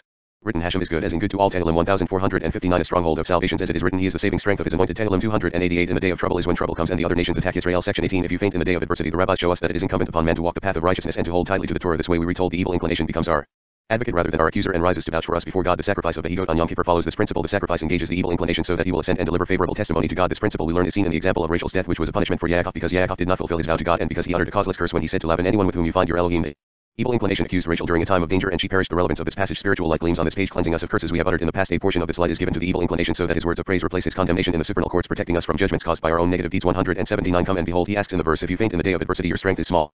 Mishle 2410 What is the meaning of you faint? He please a man whose hands do not firmly hold onto the Holy One. Blessed be he to receive strength from him. A man can be strengthened by stronger association with the Torah for whoever is strengthened by the Torah holds more firmly to the tree of life thereby giving power and strength to the congregation of Israel the Shechinah 180 but if he relaxes his hold on the Torah then he faints and if he is faint in his hold on the Torah then in the day of adversity his strength is small. When trouble comes he presses the Shechinah which is the power of the world. 181 another explanation of the phrase your strength is small is that when a man is faint in his hold on the Torah and walks a crooked path many enemies wait to oppress him. In a day of adversity even his own soul his power and strength become his foes. And enemy he explained the words your strength is small. Heptzar as your strength is an enemy. Heptzar which refers to his soul which reflects a man's strength 182 Rabbi Abba said that when a man walks the path of the Torah and his ways are duly straight many advocates stand ready to speak well of him. He opened the discussion with the verse if there be an angel over him an intercessor one among a thousand to vouch for a man's uprightness then he is gracious to him and says deliver him from going down to the pit. I have found a ransom Eo 3323 to 24 we should study these verses carefully is not all revealed before the Holy One. Blessed be he does he need an angel to announce before him good and evil? 183 he answers although he knows everything he surely requires an angel to arouse mercy because when a man has good intercessors who remind the Holy One blessed be he of his merits and no one who speaks of his sins then he is gracious to him and says deliver him from going down to the pit. I have found a ransom. 184 come and behold this verse clarifies the matter. It is written if there be an angel over him which should be sufficient yet it continues an intercessor one among a thousand we should therefore find out who he is. He said this is the angel whose duty it is to be on the left side of man. As it is written a thousand shall fall at your side Tehillim 917 we know this to be the left side from the following words and ten thousand at your right hand David which means that at your side which was written earlier refers to the left side 185 but one among a thousand. Is the evil inclination one of the thousand demons of the left side? He ascends to receive permission to come down and kill but when a man walks the path of righteousness the evil inclination becomes his servant. As it is written better is one lightly esteemed who owns a servant. Mishle 129 he then ascends and becomes his advocate recalling his merits before the Holy One. Blessed be he and the Holy One blessed be he says deliver him from going down to the pit. I have found a ransom 186 With all that the evil inclination does not return empty-handed another man is delivered to him one whose soul he may take because this man's sins are already known. He is charged for them and is held ransom for the man who escaped. This is the meaning of the sentence I have found a ransom to redeem him 187 Another explanation of the words I have found a ransom is that the Holy One blessed be. He says to the angel the merit you mentioned shall be that man's ransom it will redeem him from dying and going down to Gehenna therefore it behooves a man to walk the path of truth so that his accuser shall turn into his advocate 188 Similarly the children of Israel employ such means on Yom Kippur by giving the evil inclination some male goat namely a scapegoat and thus engaging it until it becomes their servant and ascends to testify before the Holy One. Blessed be he as their intercessor Solomon said of the evil inclination if your enemy be hungry give him bread to eat and if he be thirsty give him water to drink. Mishle 2521 189 Therefore on a day of adversity when man's hold on the Torah is faint it is as if he brings the Holy One. Blessed be he to hear the accusations of the evil inclination who becomes his persecutor then it is a day of adversity when your strength is small. Hebzar Kosh which consists of the words Arkosh Koh this makes small the power Kosh of the Shechin are referred to as Koh because the evil inclination approaches the presence of the Holy One. Blessed be he to accuse and the strength of the Shechinah is diminished because of it 190 come and behold Hashem is good a stronghold in the day of trouble. He asks what is this day of trouble. He answers the time when Esau came to accuse Yaakov. He knows them that trust in him is when judgment was severe upon him and Rachel died as will be explained 191 come and behold the accuser is upon man only at a time of danger. Come and see because Yaakov was late. Completing his vow which he made before the Holy One blessed be he. The accuser exacted judgment from him and demanded justice at the time when Rachel was in danger. He said to the Holy One blessed be he. Yaakov did not fulfill his vow although he has wealth and many sons and lacks. Nothing he did not fulfill his vow made before you and yet you have exacted no punishment immediately. Rachel travailed and was in hard labor. Bereshit 3516 because this was a severe judgment that the angel of death exacted from him 192 he asks why was Yaakov punished in this manner he replies this is in accordance with the verse. If you have nothing with which to pay why should he take away your bed from under you? Mishle 2227 therefore Rachel died. This was the judgment exacted by the angel of death 193 come and behold what did Yaakov do when Esau came and he put the handmaids and their children foremost and Leah and her children after and Rachel and Joseph last of all. Bereshit 332 what prompted him to do so? He was afraid for Rachel lest that wicked man should behold her beauty and attack him because of it. 194 it is also written then the handmaidens came near they and their children and they bowed themselves and Leah also with her children came near and bowed themselves. Bereshit 336 the women before the men but of Rachel the verse says and after came Joseph near and Rachel Joseph stood before his mother covering and concealing her. Thus the words Joseph is a fruitful bow fruitful bow by well. Bereshit 4922 whose body grew bigger to protect his mother by well lit an eye refers to that wicked man's eye. That man who must not cast an eye on her 195 year Rachel was punished by the evil inclination which accused her in a time of danger and punished Yaakov for his unfulfilled vow. This was harder for Yaakov than all his previous troubles. We know that Rachel died because of Yaakov from the words Rachel died by me. Bereshit 487 surely this happened because of me because I tarried in fulfilling my vow. 196 Rabbi Yossi said it is written a curse that is causeless shall not have lo lamed aleph come home Mishle 262 this has been interpreted as lo lamed vav. To him so it would say a curse that is causeless shall come to him. This teaches us that once a righteous man curses even if he did not mean to curse it is received by the evil inclination who uses it to accuse in times of danger. 197 Yaakov said anyone with whom you find your Elohim let him not live Bereshit 3132 although he did not know that Rachel had stolen them the Satan who constantly abides among men heard these words and used them to accuse in a time of danger. We therefore learn that a man should never open his mouth for the Satan because he takes that utterance and uses it to accuse above and below especially if the utterance came from the mouth of a righteous man or a sage. Rachel was punished for two reasons because Yaakov was late in fulfilling his vow and because of the curse he uttered. Section 19 and it came to pass as her soul was departing although the soul may depart the body and return during one's lifetime Rachel's soul did not return and she died before she died. She named her last born child Ben Oni because of the severe judgment against her Yaakov then renamed his youngest son Benjamin also to bind him to the right side just as he attached Rachel to mercy. The relevance of this passage this section helps deepen our understanding of the importance of names and of their influence on our destiny through the attraction or deflection of the light we achieve a greater connection to our own name and the particular influences that it radiates 198 and it came to pass as her soul was departing for she died Rabbi Abba asked if the words as her soul was departing mean that she died why does the verse continue with the words for she died he replied the words for she died were necessary to indicate that the soul did not return to the body and she died bodily. The departure of the soul is not an indication of bodily death, for there are people whose souls departed and later returned to their places. This is the meaning of the verses. And his spirit returned to him. I Shmuel 3012 and their heart departed. Bereshit 4228. My soul departed. Shir Hashirim 56 and until there was no soul left in him. I Melachim 1717. But when Rachel's soul departed, it did not return and she died 199 that she called his name Ben Oni because of the severe judgment decided against her. Yaakov however turned him to the right namely to Chesedim to bind the west the Nukba to the right and though he is Ben Oni lit the son of sorrow of the Nukba from the aspect of rigorous judgment. Nevertheless he is the son of the right because the Nukba became attached to the right. He therefore called him Binyamin the son of right because he attached Rachel to the right to Chesedim.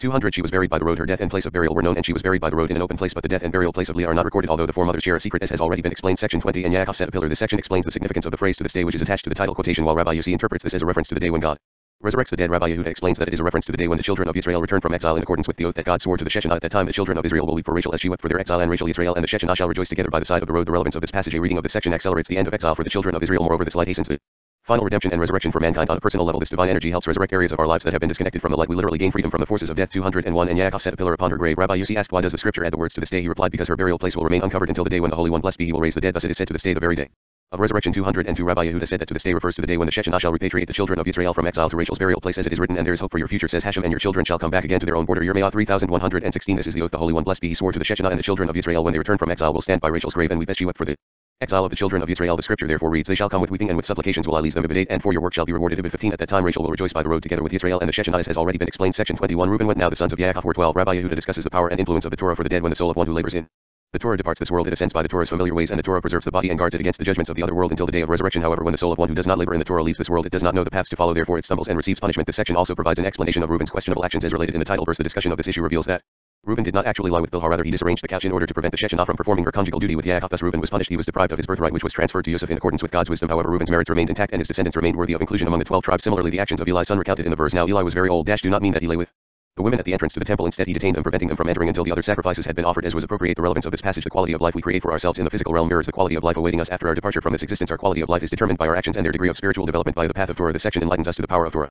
And the path it offers the radiating light helps us clearly see the darkened corridors of this life in order to avoid traveling darkened byways in the hereafter. 203 and it came to pass when Israel dwelt in that land that Reuben went and lay with Bilhah his father's concubine and Israel heard of it. Now the sons of Yaakov were 12 Bereshit 3522 to 23 Rabbi Lazar said when Israel dwelt Heshkin in that land refers to the Shechinah called land for at that time when Leah and Rachel died the Shechinah became mistress of the house. 204 he asks could you possibly think that Reuben lay with Bilhah? He answers as long as Leah and Rachel were alive the Shechinah hovered over them once. They died. The Shechinah never departed from the house but dwelt in Bilhah's abode. He asks although it was appropriate that the Shechinah should be mistress of the house that is be united with Yaakov after Rachel's death why was it said that the Shechinah dwelt with Bilhah? He answers she would not hover openly about the house if Yaakov had not formed a union of male and female. Therefore the Shechinah was to be found in Bilhah's tent where there was a union of male and female. 205 when Reuben saw that Bilhah had inherited his mother's place he upset Yaakov's bed by taking it away. As the Shechinah was upon it it is written as if he lay with Bilhah Rabbi. Yessa said that he slept on the same bed thus showing disrespect for the Shechinah for that reason the verse intimates that it was as if he lay with her but because he did not sin he was not excluded from the twelve tribes therefore scripture does the reckoning saying now the sons of Yaakov were twelve and then Reuben Yaakov's firstborn thus appointing him head of all the tribes 206 Rabbi Yehuda opened the discussion with the verse for the ways of Hashem are right and the just do walk in them but the transgressors shall stumble in them Hoshea 1410 all the ways of the Holy One blessed be he are right and His paths true, but the people in the world do not know or care what they are based upon. the just do walk in them because they know the ways of the Holy One. Blessed be He and study the Torah. Whoever is occupied in the study of the Torah is familiar with them and treads the ways of the Torah, never deviating right or left. 207. But the transgressors shall stumble in them. These words refer to the wicked who do not study the Torah or care for the ways of the Holy One. Blessed be He or no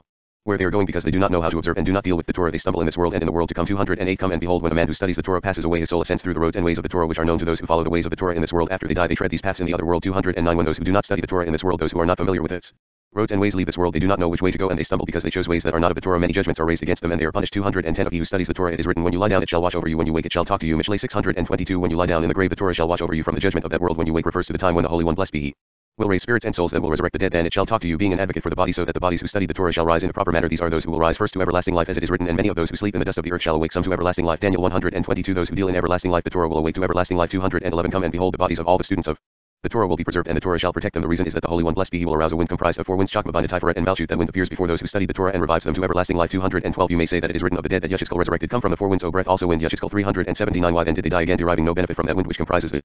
Four winds by living forever he answers come and behold when the Holy One blessed be he revived the dead. Through Yechezkel that wind although it did include the four winds did not descend in the first place to revive them forever but only to show how the Holy One blessed be he will in the future resurrect in the same way the dead and revive them by that wind included. Of four winds and although the bones returned to what they were the Holy One blessed be he only wanted to show the world that he will raise the dead in the future and when he will it will be for a perfect existence in this world. The Torah will then stand as an advocate before the Holy One. Blessed be he for those who strove in the Torah 213 Rabbi Shimon said the Torah and its words namely its logic with which man was occupied in this world stands always before the Holy One. Blessed be he uttering speeches and raising voices. It is not silent at the time of resurrection. It will talk and speak in accordance with man's devotion to it and his occupation with it in this world. They will therefore rise to complete existence and everlasting life as we have said for that reason. The ways of Hashem are right and the just do walk in them but the transgressors shall stumble in them. 214 Rabbi Chiya continued the discussion with the verse. Now Eli was very old and heard all that his sons did to all Israel and how they lay with the women that assembled at the door of the tent of meeting. I Shmuel 222 he asks could it possibly occur to you that the priests of Hashem would do such a thing? The scripture specifies their sins earlier as it is written for the men dishonored the offering of Hashem Ibid 17 and the priest's custom with the people was that when any man offered Ibid 13 also before they burnt the fat the priest's lad came and said to the man that sacrificed give some roasting meat for the priest Ibid 15 no but you shall give it me now and if not I will take it by force wherefore the sin of the lads was very great before Hashem Ibid 16 and although they took only of what was theirs the priests to eat they were nevertheless punished for treating the offering lightly from this we learn that they were righteous as they were very strictly dealt with yet here it is written they lay with the women that assembled and committed such a grave offense 215 he answers heaven forbid that they should commit such a transgression especially in such a holy place for Israel will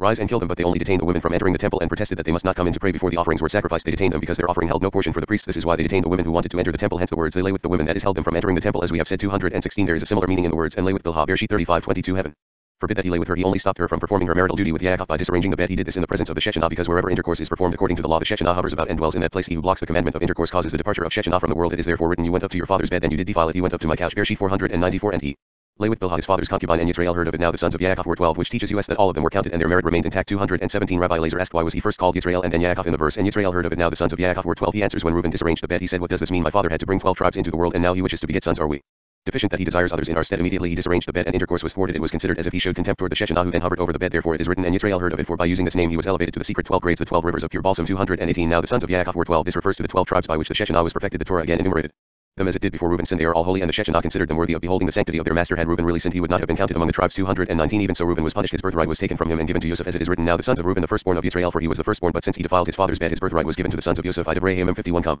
and behold, blessed be the name of Elohim forever and ever. Daniel 220 His works are all true, his ways just, and his deeds follow the supernal wisdom. 220 Come and behold, everything man does has an effect, for it is written and preserved before the Holy One. Blessed be he when Yaakov came in to Leah, his heart and desires were with Rachel the whole night, because he thought she was Rachel from that union from the first seed, and desire Leah conceived. It was explained that if Yaakov had known she was Leah, but nevertheless thought of Rachel, Reuben would not have been considered to be one of the tribes. He would have been considered a changeling son, but since it was in the absence of intent, the offspring was not given a specific name, but just called Reuben. Let's see a son. 221 Nevertheless, everything reverted to its proper place because Yaakov's original desire was for Rachel. The desire reverted to Rachel since the birthright was returned to Joseph, Rachel's eldest son. The place where the desire was that is Rachel thus all was properly settled because all the works of the Holy One blessed be he are true and just section 22 who is this coming out of the wilderness smoke that rises from the fat dropping into the fire while Rabbi Yossi Cooks leads to a discussion and interpretation of the title quotation Rabbi Yossi explains that when the children of Israel offered sacrifices smoke rising straight up meant that the candle that had been lit was indeed worthy of being lit however once the temple was destroyed joy was replaced by rage in both the upper and lower worlds and the children of Israel went into exile under the dominion of other gods as they traveled through the desert the Shechinah went before them in a cloud of smoke the Shechinah was attached to all three columns that is to Avraham Yitzhak Yaakov and Yosef the latter two being of one essence the reason for the exile we're told is you would not serve the creator your Elohim with joyfulness. Thus the children of Israel shall suffer until God rises up to redeem them among the nations. The relevance of this passage in a spiritual context, the notion of offering sacrifices for the purpose of lighting the candle worthy of being lit refers not to the sacrificial slaughter of animals but to the sacrifice of ego in order to ignite the light of the soul. The many sacrifices described in scripture pertain to the various negative traits dwelling within the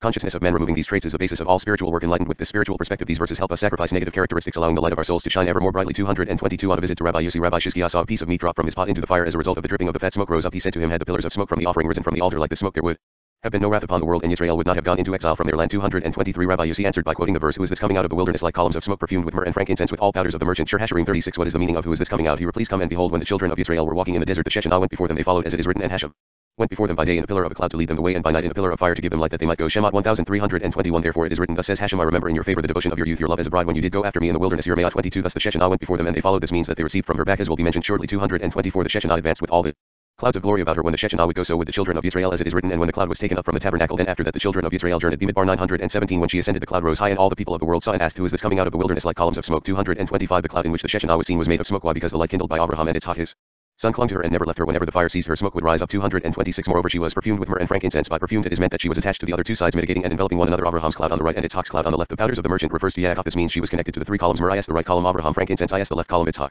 and all the powders of the merchant. Is the central column that connects both. This is why it is called the merchant who holds both types of fragrance in his hands. 227 another explanation is that the powders of the merchant refers to Yosef the righteous for his coffin lit ark. As traveled by her. He was called a merchant head Rachel also talebearer because he slandered his brother's head rechilut before his father according to another explanation. He was thus called because just as a merchant possesses all kinds of bundles of incense and perfumed herb powders so Yosef maintained the Torah for he observed it as all the precepts of the Torah are connected to keeping the holy covenant which he did 228 another explanation connects the powders with Abraham Itzhak Yaakov and Yosef who had one and the same image. This is the meaning of the verse. These are the generations of Yaakov Yosef Bereshit 372 thus the words with all powders of the merchant refer to the source from which the river is drawn and flows. Yesod which is Yosef. Everything is watered from it and the faces of all are illuminated. 229 come and behold when Israel dwelt in their land and offered sacrifices they approached nearer to the Holy One. Blessed be he when the sacrifice was offered and the smoke rose straight. They knew that the smoke from the altar lit the candle worthy of being lit. All faces shone and the candles were burning. 230 since the temple was destroyed not a day passes without wrath and anger as it is written and an El who had indignation every day. Tehillim 712 joy was banished above and below and the children of Israel went into exile under the dominion of other Elohim and then the verse is fulfilled as it is written and there you shall serve other Elohim. Devarim 2864 231 he asks why did Israel deserve all this? He answers as it is written because you would not serve Hashem your Elohim with joyfulness and with gladness of heart for the abundance of all Things Ibid 47 to 48 he asks what is the meaning of the abundance of all things he answers here there is the abundance of all things and their want of all things 232 so it shall be until the Holy One blessed be he arouses himself and redeems us from among the nations as it is written that then Hashem your Elohim will turn your captivity and have compassion upon you and will return and gather you from all the nations amongst whom Hashem your Elohim had scattered you if your outcasts be. At the utmost parts of heaven from there will Hashem your Elohim gather you Devarim 303 to 4 section 23 now these are the generations of Esau this passage explains why scripture does not enumerate the sons of Esau until after the death of Itzhak while Yaakov's sons are enumerated long before he dies this we learn is because Esau abandoned the true faith completely leaving Yaakov with an enhanced portion as well as the heritage of his father and his ancestors.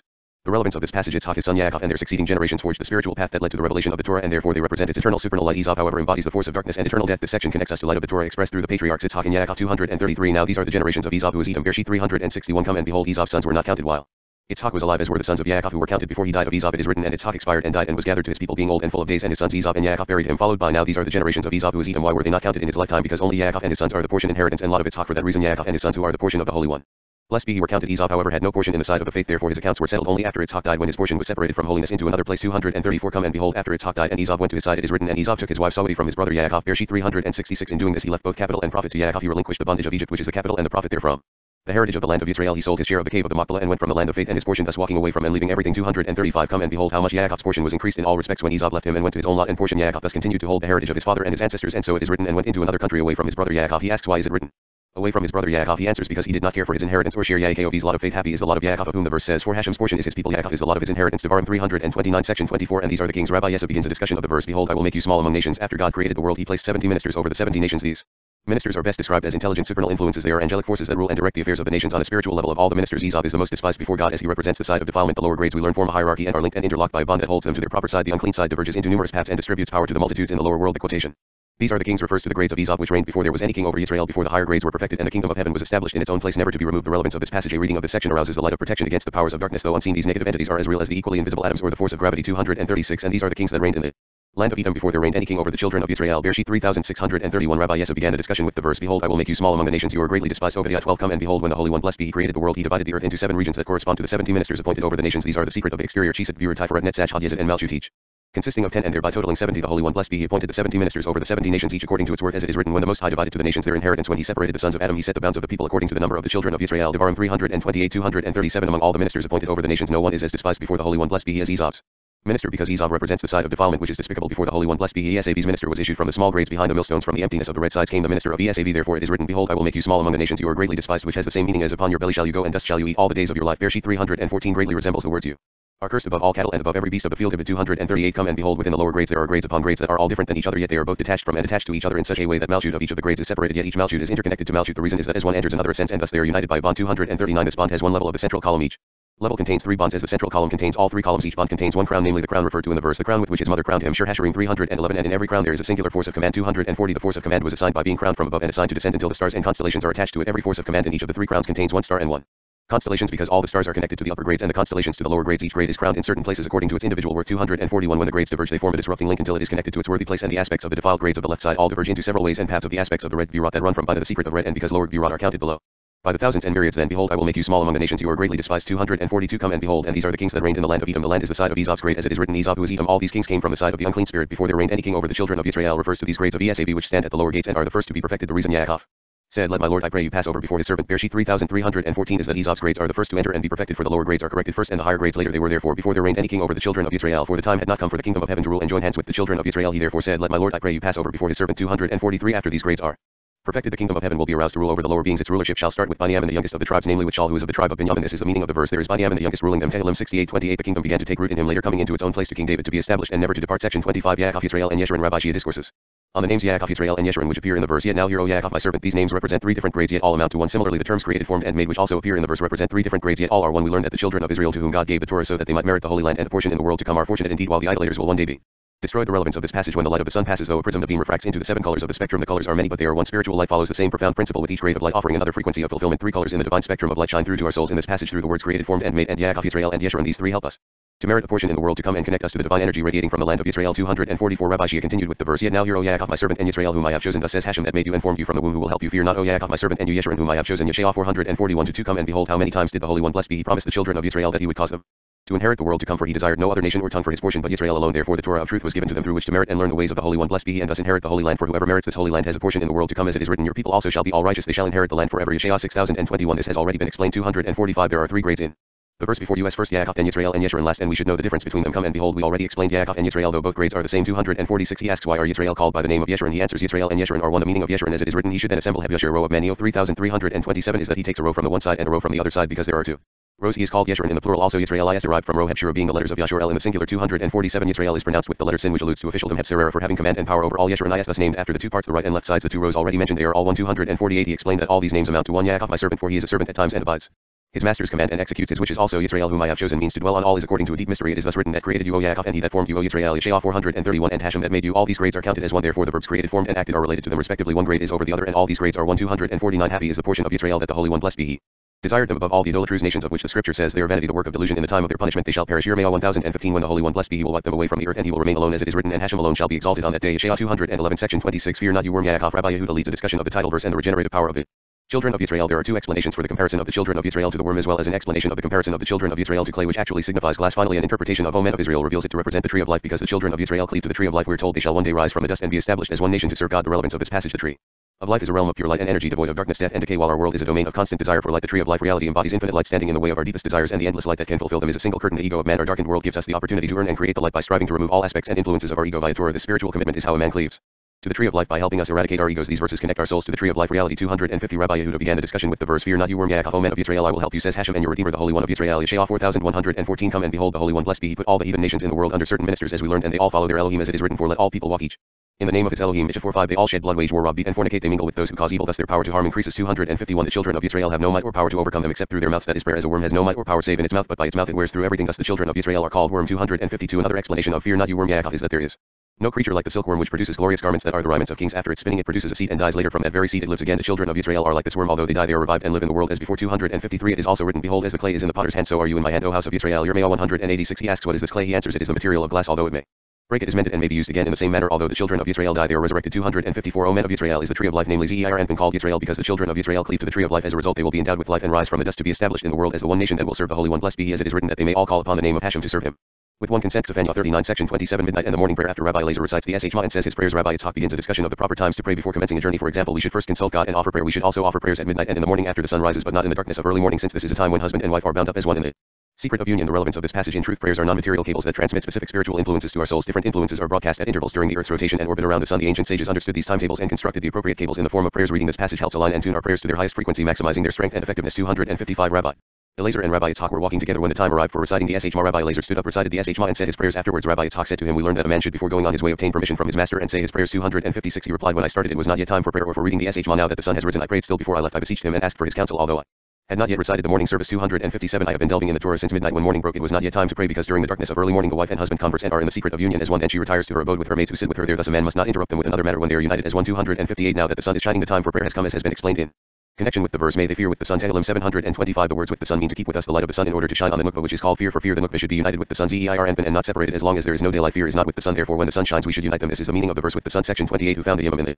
wilderness as Rabbi Elazar and Rabbi Yitzhak travel they see a mountain with strange creatures circling its peak. Rabbi Elazar assures Rabbi Yitzhak that he need not fear these creatures since only he who fears his sins has cause to fear and he begins a discussion of the title verse the Yemim we're told are descendants of Cain they are unnatural beings created from the side of evil spirits at the moment when the Sabbath was about to be sanctified though they are able to put on bodies once a Day they remained bodiless because they were disowned by both the sixth and the seventh days because the defiled spirit cleaved to him. We further learn Anna was able to find these spirits and they taught him of matters pertaining to defilement. But whoever walks in the ways of God may encounter them without fear. The relevance of this passage we have all felt the influences of the dark forces roaming through this physical dimension. The energy of this particular passage wraps us in the protection of the light that spares us harm from evil spirits while strengthening our resolve to connect more devoutly to the light in all our endeavors. 259 Rabbi Elazar and Rabbi Yitzhak continued their travels until they reached a field where they sat down. They lifted up their heads and saw a mountain with strange creatures circling its peak. When Rabbi Yitzhak became frightened, Rabbi Elazar asked, "Why are you afraid?" He replied, "I see this huge mountain with strange creatures on it, and I am afraid." Lest they will attack us, he said, Whoever is fearful should be fearful for the sins he committed. Come and behold, these are not the same creatures who used to haunt the mountains. 260 He began the discussion by quoting the verse, And these are the children of Sivan, both Aya and Anna. This is Anna who found the Yemim in the wilderness. Bereshit 3624 This verse has already been explained, yet come and behold, these are not those mentioned in the verse. The Yemim dwelt there in times past, but the children of Esau succeeded them. Devarim 210 to 12 261 But in the verse, who found the Yemim in the wilderness, Yemim is spelled defectively without the letter Yud, which is an indication of want, because the descendants of Cain after he was driven from the face of the earth are strange creatures, as it is written, Behold, you have driven me out this day from the face of the earth, and from your face I shall be hid. Bereshit 414 And, and dwelt in the land of Nod. 16 This has already been Explain 262 Cain's descendants are from the side of spirits, storms, and fiends. For when Shabbat was about to be sanctified at sunset, ghosts that were created from that side roamed about without a body. They were born neither on the sixth nor on the seventh day, being born at sunset, and thus there is doubt as to which day they were from, as they are disowned by both this day and that day. 263 They kept on spreading from that side of Cain, that is, being his descendants clothed by that side yet without tangible existence. Yemim is therefore spelled without a yud, for they are disowned by both days, that is, by both Friday and Shabbat, because they were created at sunset. They may be seen by men, that is, despite being ghosts once a day. They don a body. Anna found the spirits called Yemim, and they taught him how to bring bastards into the world, that is, by mating an ass and a horse. So they would issue a mule. They haunt the mountains and don a body once a day, then strip themselves and Remain bodiless 264 Come and behold Anna was a bastard from Sivan who came to Anna's mother and begot a bastard. He therefore came from the defiled spirit that cleaved to him and enabled him to find these spirits who taught him matters that pertain to the side of defilement. 265 Come and behold these and several others who came out from each other were all from that side. The left side they may be seen walking in the desert a desolate place in which they live for destruction always comes. From the left side for all this a man who walks the paths of the Holy One blessed be he and fears him is not afraid of them. They went and climbed onto the mountain which means that they extended the light of the left into the Nukba and feared not. 266 Rabbi Yitzhak asked are all the desolate mountains also their dwelling place? He replied indeed they are but of those who study the Torah the scripture says Hashem shall preserve you from all evil. He shall preserve your soul. Hashem shall Preserve your going out and your coming in form this time forth and forevermore. Tehillim 121 7 to 8 Section 29 I will praise Hashem with my whole heart. Rabbi Elazar quotes the title verse and proceeds to discuss the righteous ways of King David who devoted his life to God. David knew that when the northern wind stirs at midnight God joins the righteous in the Garden of Eden. He also knew that the words of the Torah spoken at night ascend before God therefore he would rise at midnight to sing songs and to praise God of all the titles that he gave his songs Hallelujah was the greatest because the word encompasses both the name of God and the call to praise him. Rabbi Elazar then concludes by explaining the meaning of whole heart and the assembly of the upright. The relevance of this passage the might and mystical wisdom of King David stirs within our soul as we peruse this passage specifically the light aroused at midnight through the actions and songs of David descends into our world filling our souls and the souls of mankind. This diminishes the spiritual darkness that gives birth to personal and global strife. 267 Rabbi Elazar then quoted the verse Hallelujah I will praise Hashem with my whole heart in the assembly of the upright and in the congregation. Tehillim 1111 This verse has already been explained yet come and behold King David worshipped the Holy One blessed be he all his life he would rise at midnight to praise and offer thanks in songs and hymns to establish his place in the kingdom above 268 he knew that when the northern wind stirred at midnight the Holy One blessed be he rose in the garden of Eden to delight himself with the righteous David therefore rose at that time and strengthened himself with songs and praises until morning 269 this is because the Holy One blessed be he is then in the garden of Eden we have explained that he and all the righteous in the garden would listen to his voice as it is written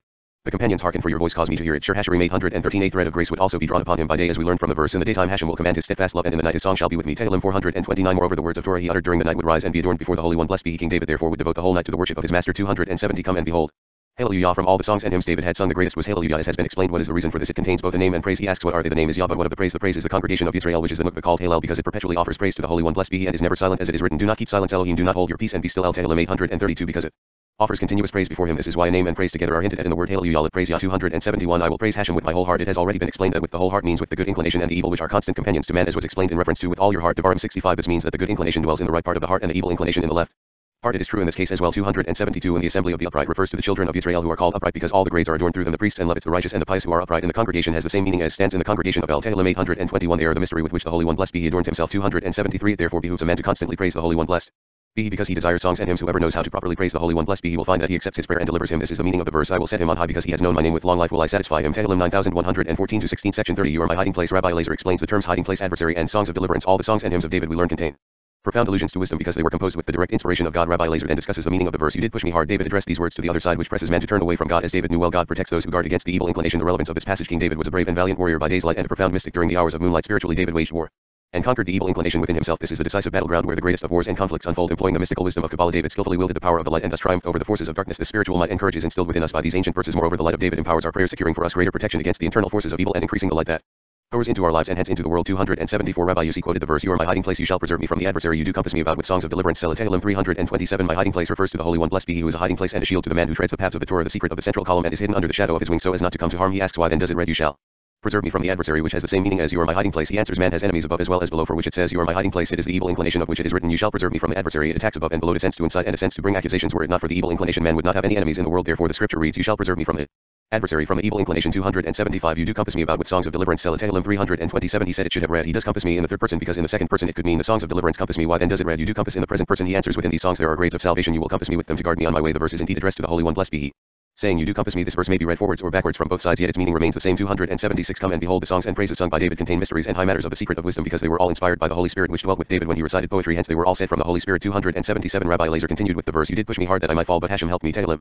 11813 he said it is written you did push me when it should have been written. They did push me. Why is it written you did push me? As it was not the holy one blessed be he who pushed him but his enemies he answers. This is the other side which always pushes man in an effort to turn him away from the holy one. Blessed be he. It is the evil inclination the constant companion of man to which david addressed the words you did push me hard that i might fall because it with all the troubles that came upon him almost caused him to turn him from the Holy One. Blessed be he in regard to this David said, You did push me hard that I might fall into Gehenna, but Hashem helped me by not delivering me into your hands. 278 It is incumbent on man to guard against it so it does not obtain mastery over him. And the Holy One, blessed be he will guard him in all his ways as it is written, and shall you walk in your way safely and your foot shall not stumble. Mishle 323 And when you go your steps shall not be confined. Mishle 412 It is also written, but the path of just men is like the gleam of sunlight. It shines ever more brightly until the height of noonday. Mishle 418 Rabbi Yehuda said, Happy are the children of Israel for the Holy One. Blessed be he keeps them in this world and in the world to come as it is written, Your people also shall be all righteous. They shall inherit the land forever. Yeshayah 6021 Blessed be Hashem forever. Amen and amen.